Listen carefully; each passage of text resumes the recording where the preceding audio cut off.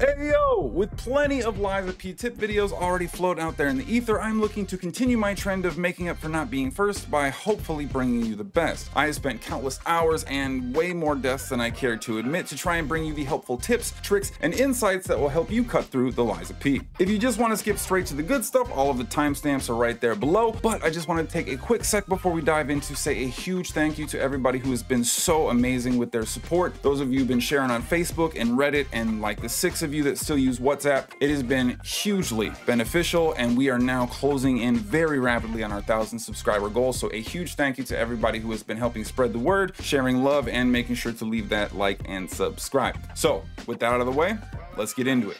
Starting with the very beginning of the game, my first tip is something super important that you want to keep in mind when making your starting build. Counterintuitive as it might seem, you actually don't want to overinvest in pumping your vitality. Compared to other games like Dark Souls and Elden Ring, of P is definitely not forgiving with its reaction times, and the biggest enemies in the game can often end your run in just one or two hits. But Deej, I thought you just said! I know, it's the start of the video. Give me just 10 damn seconds. While you might want to compensate for big boss damage by packing on the hit points, the later game will see the damage of your enemies drastically outpacing your ability to simply absorb those hits. In reality, of P rewards players with memorizing patterns, reacting to enemy tells, and truly understanding the phases of a fight rather than grinding until you're over leveled for it. With that said, I would simply recommend prioritizing damage early on as long as you have enough health to deal with the normal enemies between boss fights. With beating bosses largely dependent upon perfect execution rather than winning a back and forth slugfest, adding to your output instead of your defenses simply lowers the number of times you have to respond perfectly.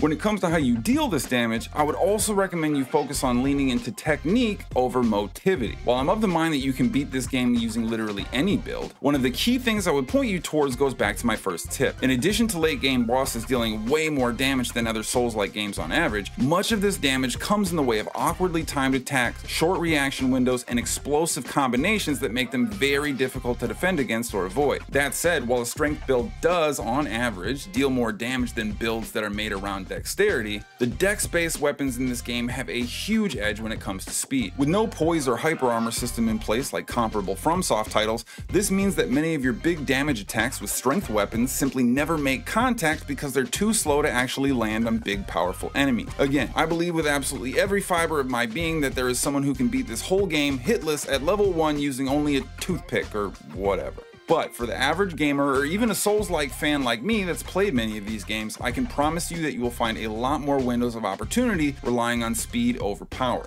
As a result, I would strongly recommend trying to lean into technique early on, even if you intend to change it up later.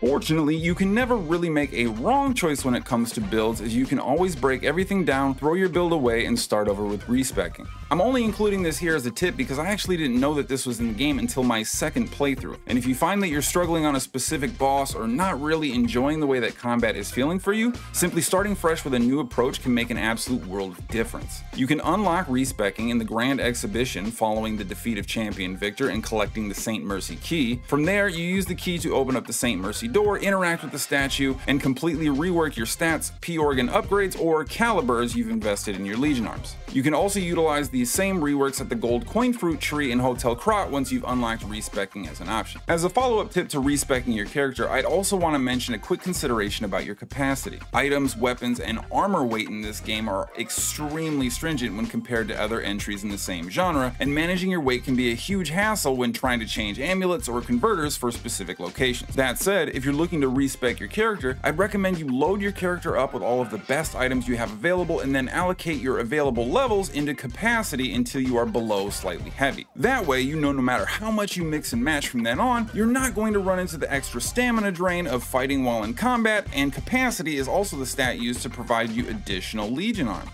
So you'll not only have the most protection available for yourself at all times, but you'll also have additional Legion arm to draw on, all without slowing you down or causing you to die because you didn't have enough stamina left for that final dodge. If you're not convinced that managing your capacity in this way is important, another tip I would point you towards that many don't seem to know is that fall damage is actually impacted by your weight tier. While jumping or falling from high locations at 60% or less capacity will apply standard damage, this damage can be further reduced by dropping your weight tier down into the lightweight category category for the least fall damage possible. This can then be combined with the cat amulet to make fall damage almost a non-issue, so it might be something you want to account for when you're in an area where falling is a greater risk, or there are a few enemies nearby looking to knock you off a ledge. As an additional point on this before moving on, it should be noted that slightly heavy and beyond also has an inverse effect. So you can also drastically increase your fall damage too if you're not keeping an eye on your percentages, so keep that roll medium at least. So now that you won't fall off a ledge and die constantly, and we have your damage focused instead of your health, which you're not going to be losing to fall damage anyway, let's get on to beating bosses without really much issue at all. Now, the first and perhaps most important tip I can give you when it comes to combat is actually using your throwable items. Of all the weapons, legion arms, and potent protections you can get in Lies of P, absolutely none of them compared to the incredible effectiveness of throwing items. Firstly, throwable items have a range that is literally equal to your ability to lock on to an enemy. While this range can differ depending on a few different circumstances,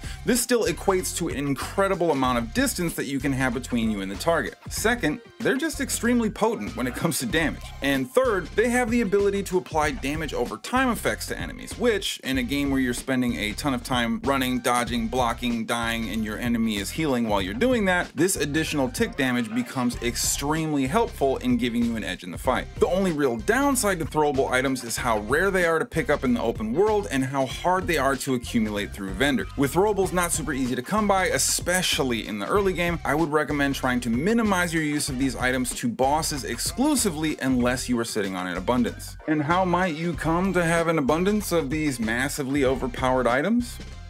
Well, make sure that you don't miss the black market vendor available via the Malum District Stargazer. This vendor normally requires a bribe in order to be able to buy goods from him, but you can circumvent this too by picking up the smiling bunny mark from the grave located near the path of the Pilgrim Stargazer. Once you have him open for business, you'll find that this vendor stands in stark contrast to all of the other vendors you've met up to that point, as he will sell you an infinite amount of throwable items that you can use to constantly replenish your inventory. This not only means that you have a quick and and safe way to replace the items you use during fights, but you can also spam these items now to overcome any bosses that you're having a particularly difficult time with. The one catch here, of course, is that purchasing a large amount of these throwable items is actually extremely expensive. Fortunately for you, you clicked on this video, so ergo is no hurdle. As it happens, there are a few farming locations throughout the game that will net you a pretty considerable sum of ergo in a very short period of time. The first one I would point you towards is actually right next to this Malum District vendor by clearing out the tavern within. Taking out the one large and several small enemies in an efficient circle and running back to the Stargazer will net you about a thousand ergo a minute, as long as you can keep the loop tight and efficient. There is also a pair of Decayed Angels that you can find in the Lorenzini arcade that will give you an opportunity to double that up to 2k ergo per minute. However, I would caution you that if you're not particularly confident with your build and you don't have an exact science down down for how you're going to stagger your enemies, this one definitely has a little bit of risk. And my personal favorite is actually at the swamp entrance Stargazer. Simply running to the end of the first walkway sees you fighting one of these furnace robots with a extremely easy and consistent stagger and a very short run back to the Stargazer. This one is going to net you about 1500 ergo per minute as well. And this is actually my preferred and favorite based on the safety and ease of getting this one down. Now, there are a lot of videos out there with suggestions on farming. They'll give you a full walkthrough on how to do any number of them, so I will leave that to those people. But make sure that you're taking time to farm up some extra ergo and doing so in the most efficient way possible if you are short on supplies. In addition to the ergo you will net, a lot of these enemies, due to their size and difficulty, are also likely to drop items, additional ergo chunks and fragments, or special rare drops that you can use to upgrade your weapon. So never hesitate to take quick time out from the story to make sure that you are ready for the next fight ahead.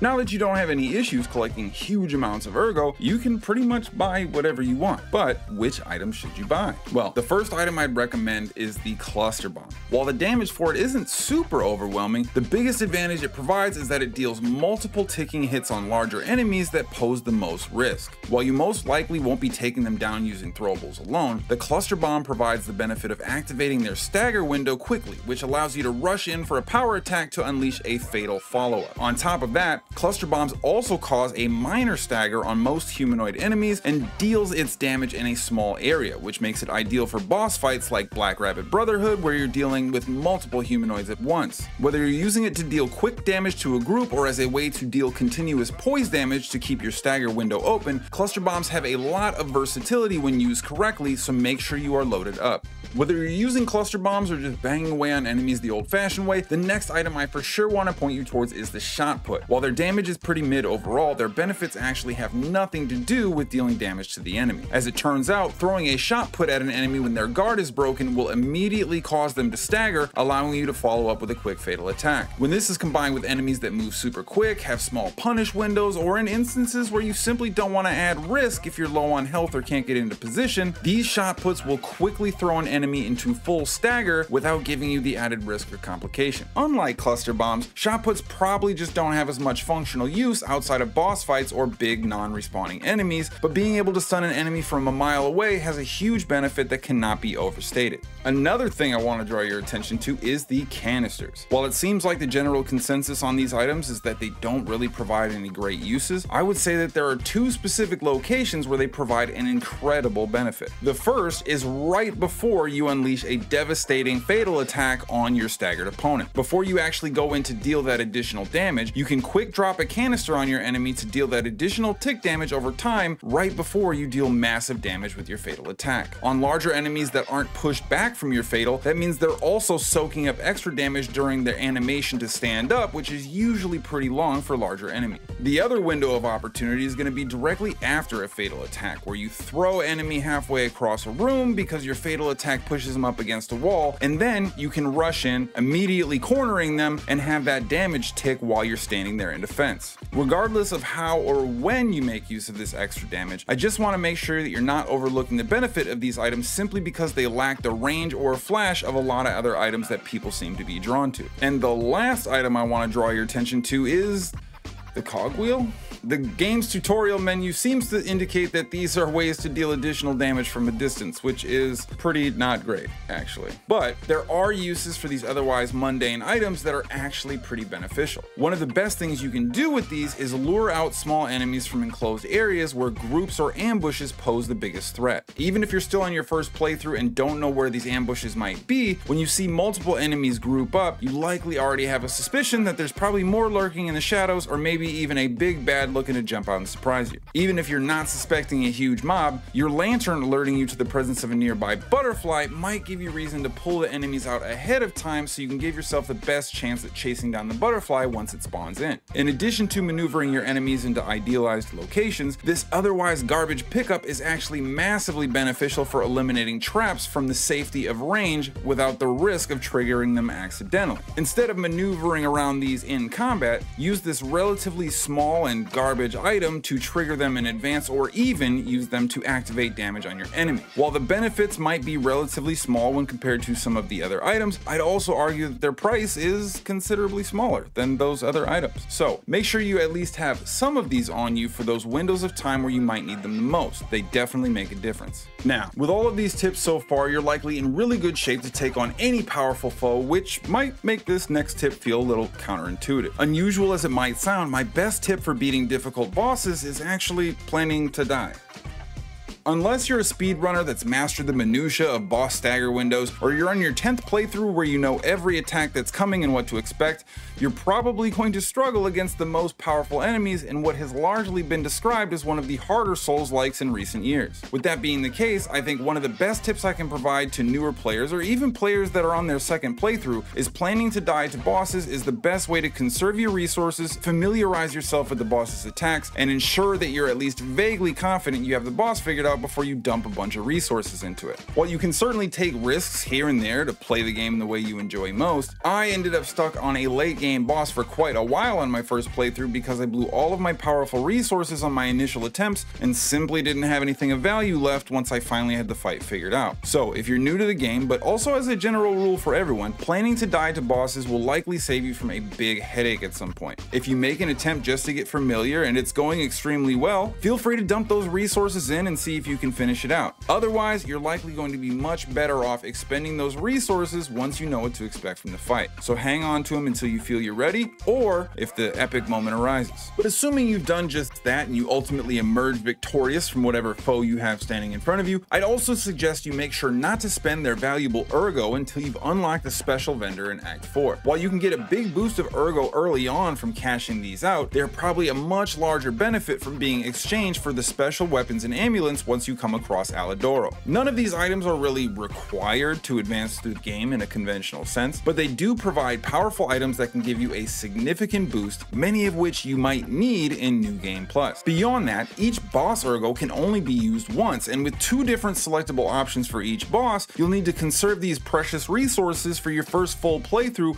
as well as your first New Game Plus playthrough if you want to have access to everything. Again, these aren't required, but if you're looking for the full experience, you benefit significantly from hanging on to these at least long enough to get the various boss weapons and amulets that can drastically change the feel of a given playthrough. слушаю. Now that we've covered most of what you need to know in order to have the best shot at defeating the game's toughest enemies, it's probably worth pointing out that you are just as much at risk of dying to swarms of lesser enemies in Krat as well. Whether it's a dense horde of smaller foes, the surprising appearance of one of the most fair enemies in the entire game, or one of the tougher open world bosses that pose a rather significant challenge in their own right, odds are good that you'll also rest in puppetry out in that open world between boss fights. When you do so, most folks are plenty accustomed to simply running back and collecting the ergo they've dropped, but did you know that there is a hidden mechanic where you can actually lose your ergo on the way back to collecting it? As a measure to discourage players from simply running back and collecting their resources, each enemy that hits you will deplete an amount of ergo that you're able to recover. While that's super annoying if you're trying to recover your ergo from a rather dangerous area, it's also worth mentioning that any reduction to your ergo recovery can also be counteracted if you kill the enemy that caused it. So while running back to pick up your ergo is oftentimes the easiest and most efficient choice, you may want to focus on accuracy over speed during your run back depending on how thick the enemies are.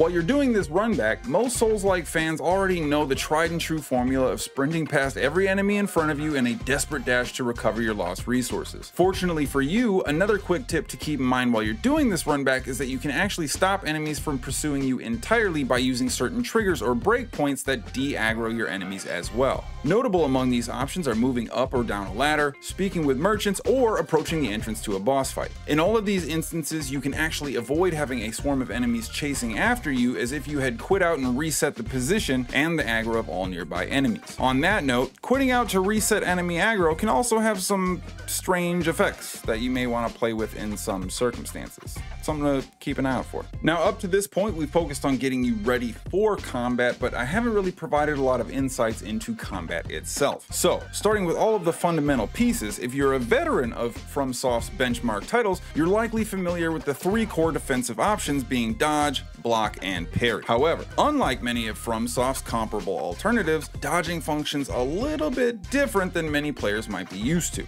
In of P, dodging is less reliable and provides less movement than other Souls-like titles and may end up throwing you off a bit. Not only is dodging slightly less effective as a general strategy, but it also consumes a great deal more stamina, which also tends to recharge much slower than how many players may expect. Now, with that said, dodging obviously can work and is a viable option in combat, but being completely unable to dodge fury attacks and the tight timing window you need to hit to avoid damage, you'll find that dodging is often maybe the least effective choice when applying all your defenses in combat. That said, there are of course some bosses where dodging is actually the more efficient option to dodge quick hitting double attacks or when you use it to get out of range, but your best bet when using the dodge mechanic is either dodging through enemy attacks so you can maintain close distance or combining it with a circular strafe that keeps you casually out of reach when your enemy attacks. With dodging likely proving difficult and dangerous in many situations, trying to block attacks is ultimately the ideal approach. When you successfully block an attack in Lies of P, you don't actually take damage from the attack immediately, but instead you lose a portion of the attack's damage over time as indicated by a coloration of your health bar. If you're able to quickly deal damage while this recoverable health is still there, you'll actually regain any missing health that has been depleted. This recoverable health can actually be increased and regained more effectively depending depending on the selections of your P organ upgrades, but still isn't the ideal if an enemy dies before you recover that missing health, or it's too dangerous to be aggressive and follow up. Even if you can recover that missing health, it's still important to point out that you can't block glowing red Fury attacks, many of which come out super quickly or take up a ton of physical space. Blocking also has the added drawback of draining your stamina, which means it's nearly impossible to block straight through an incredibly long or powerful combo and will just result in you dying later. Now that you've mastered the art of being able to die tired, that brings us to parrying. While it is fair to say that parrying is easily the hardest option of the three, I'd also go so far as to say it is probably the most important skill you can learn in the game. Not only can parries actually block Fury attacks, but they can also function as attacks on their own based on P organ upgrades, the weapon that you're using, or which Legion arm you have equipped. In addition to providing better defense overall, parries also deal stagger damage to an enemy, which means it's entirely possible to activate an enemy's stagger window before you've actually made any attacks. Now, that's probably not advisable, but like you can do it. While these are three obvious and clear benefits, there is still one other bonus that makes parries the clear choice in combat over dodging and blocking. Even though mastering the art of the parry is definitely a difficult task, if you manage a successful series of parries against an enemy wielding a weapon, you can actually break their weapon entirely. While there is an extremely visceral satisfaction in literally destroying an enemy's weapon, it also serves to completely mitigate much of the threat that most enemies pose. For starters, breaking an enemy weapon weapon in half, well, does just that, it breaks it in half. With only half the range on their attacks, all of a sudden, dodging and strafing out of the way becomes a much more viable option since they can't punish you as effectively for being in a bad position. Second, it also provides you a substantial reduction to their overall damage output that makes enemies much less dangerous. Now, because of how much damage enemies deal in this game, you probably still don't want to stand there and trade blows with them regardless. But now you can be at least a little bit more cavalier with your attacks as broken weapons also don't stagger you out of your power attacks once they're in motion. I know that mastering parries is certainly an intimidating hurdle for many players to clear, but if I hadn't already made a compelling case for why focusing on parries is important, then hopefully this seals the deal for you. But there's obviously one big component to parries that we haven't covered, and they're, well, just really, really hard to do sometimes.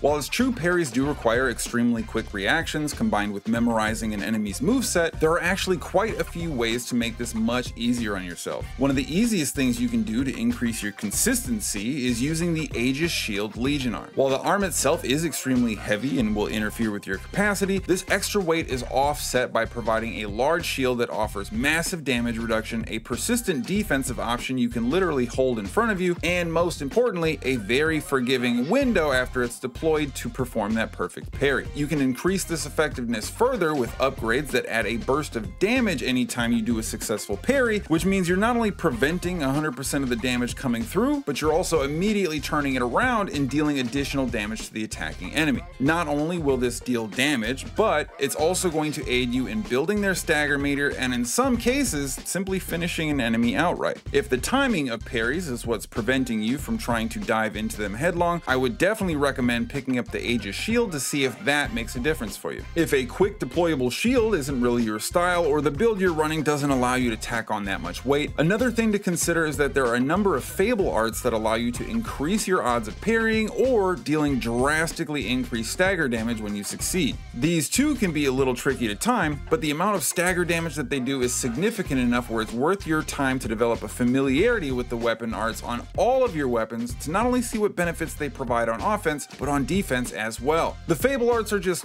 cool as hell to land in game, and I'd recommend making sure you're leaning on all of your available tools to make sure that you're making the game easier for yourself. As an aside on Fable arts, they can be somewhat difficult to generate quickly if you're just roaming around in the world, so do keep in mind that if you happen to make a quick stop over at Hotel Krat, you can automatically regain all of your Fable arts immediately just by stepping out into the training area. So it's a little time consuming to do on a regular basis, but it's definitely worth your time to quick pop out and top up if you're heading into a boss fight or you know that you're going to be facing some tough open world enemies. If you do swing back to Hotel Krat to fill up on Fable charges and you're not in a particular hurry, I'd also recommend making sure that your weapon is optimized for combat by adding a crank to your weapon to maximize its overall effectiveness. Each handle has a base value for motivity, technique, and advance, or strength, dexterity, magic if you prefer. And you can maximize a weapon stat bonus by ensuring that it has a crank modification that complements the stats you've chosen to lean into. Especially when you get into later game, if you're using a weapon that you're enjoying and having fun with, but it's not designed for your build, you can get a massive boost of damage simply by tuning it at least a little bit more towards the stats that you've already specced into. Beyond that, if you're enjoying the move set of a given weapon or want to apply that parry fable art I mentioned to a different weapon, make sure that the attack type of the handle also matches the corresponding attack type of the blade that you are affixing it to. It's likely super easy to miss unless you're looking for it, but some handles can have huge damage reductions for certain blades because the moveset simply doesn't complement the intended design of the weapon. So, in the same way that a hammer and axe heads aren't meant to be used as thrusting weapons, the piercing tip of a spear or rapier isn't intended to be a slashing weapon either.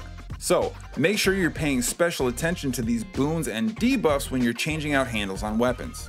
Regardless of what combination you go with, the best approach to victory is often going to be a combination of the tips that we've already discussed, but another thing to keep in mind is that keeping your weapon sharp and combat ready will keep you out of trouble. As you block and attack, your weapon will eventually grow dull and become less effective over time. If you let it go too dull, you'll actually have your standard attack start bouncing off of enemies after every attack, which will completely eliminate your ability to attack multiple times in a row, and with some weapons, will even prevent you from staggering your opponent once that stagger window is open. If you still don't sharpen your weapon at that point, one, what are you even doing with your life? And two, your weapon will eventually break completely and you won't be able to use it at all until you rest at a Stargazer. Once you've gotten to this point, no amount of sharpening it at a grinder will make it usable again, so make sure that you're keeping an eye on it and having it on your third belt for quick access when it's needed. If you're following these tips, you should be progressing fine out in the open world, but I have a few additional combat tips that we can work in here with a little less detail. When fighting standard size human enemies, one of the quickest and most effective ways to get rid of them is by circle strafing around their attacks and then immediately following up with a backstab critical during their recovery animation. While performing this backstab animation, you're also completely immune to additional attacks, and if there are any enemies nearby when you finish it, the critical strike will actually cause them to minor stagger once you complete it. With slower or less coordinated enemies, you can even execute this strategy multiple times in a row to keep yourself free from danger and easily get rid of multiple enemies quickly. Pulling this off in sequence likely will only work against puppets, however, you can also potentially pull this off during the Black Rabbit Brotherhood fight where there are multiple human enemies nearby as well. If you're facing a big enemy that can't be backstabbed, or you simply find yourself down to your last pulse cell quicker than expected, another unintuitive tip you might not have considered is using your last pulse cell earlier than you need to. While your instinct might be to wait until you can get maximum value out of it by taking a little bit more damage, you can actually earn new pulse cells as soon as you spend your last one. That means that you're building towards a free extra pulse cell with a full health bar rather than at least a little bit of it missing when you might find yourself in a jam. Admittedly, it's a very subtle difference between the two, but at the end of the fight, you're not really looking to maximize how many pulse cells you have left over, you're just looking to maximize how much health you have left once the boss is dead. Popping that last pulse cell early may only add a little bit more than attempting to maximize it, but with as many one-shot attacks as there are in this game, being topped off as much as possible, especially with your last pulse charge is always a good idea. Now, thus far, I've given you hopefully everything you'll need to have zero concerns in taking on combat with confidence, but even if you are plenty capable, sometimes using threats against you to actually damage your opponents is infinitely more satisfying. I'd recommend you also make sure that you are using the various traps found throughout the world to take out your enemies to avoid taking that damage yourself. Pressure plate traps, tripwires, and bear traps will all deal damage to any enemy that walks through them, so if you happen to spot one before triggering it yourself, save yourself the effort, the weapon degradation, and the risk by using them against your foes. Admittedly, this tip really only benefits you in a few specific areas, but using it could prevent you from burning that last pulse charge that may end up dragging you through to the next Stargazer.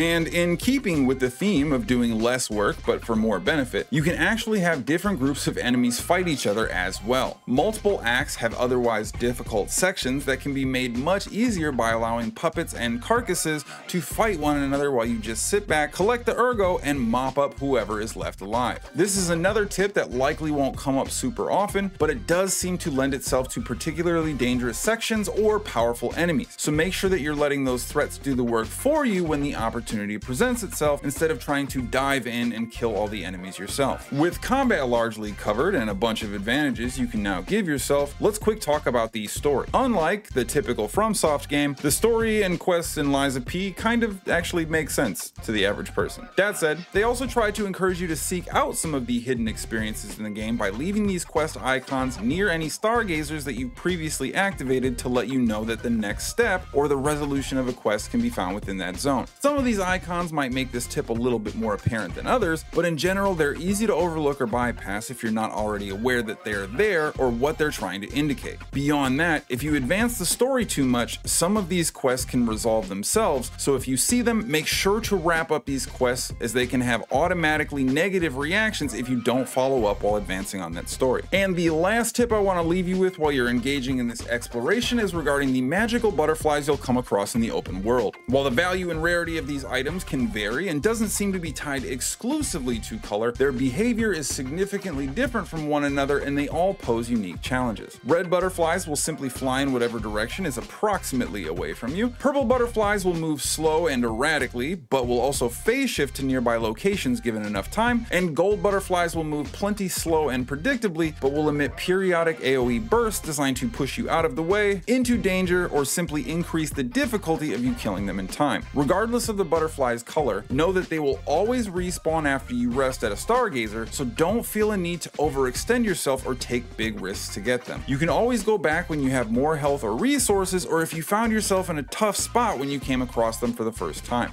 And with that, you have all the best tools, tips, and insights that I could give you to keep from getting strung up in Krat. Please make sure that you are sharing with those who might be interested or could benefit from this information. And if you found this video helpful, please make sure to leave a like and subscribe to help us close in on that goal. And until I see you next time, party on.